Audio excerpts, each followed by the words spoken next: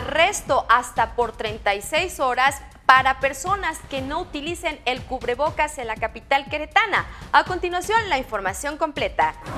Las personas que desacaten alguna recomendación por parte de las autoridades sanitarias como el uso obligatorio de cubrebocas, entre otras medidas, serán acreedoras a una multa que puede ser desde los 1.344.30 pesos y hasta más de 26 mil pesos o en su caso el arresto administrativo por 36 horas, informó el secretario de gobierno del municipio de Querétaro, Donatiu Cervantes.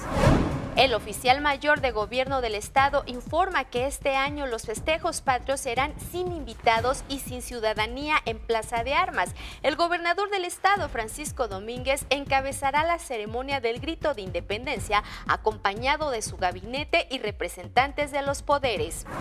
El presidente municipal de Querétaro, Luis Nava, durante la reunión con el titular de la Unidad de Inteligencia Financiera, Santiago Nieto Castillo, reiteró su compromiso para trabajar de la mano con la UIF y seguir manteniendo a Querétaro como un referente nacional por el transparente y correcto uso de los recursos públicos. El municipio de Querétaro clausuró 10 establecimientos que se dedicaban al sexoservicio, la mayoría ubicados en colonias cercanas a la Alameda Hidalgo, Así lo dio a conocer Tonatiu Cervantes Curiel, secretario de gobierno del municipio. El gobernador del estado, Francisco Domínguez, entregó las instalaciones del Centro Táctico Operativo Metropolitano de la Policía Estatal, en las cuales el gobierno estatal invirtió 6.3 millones de pesos.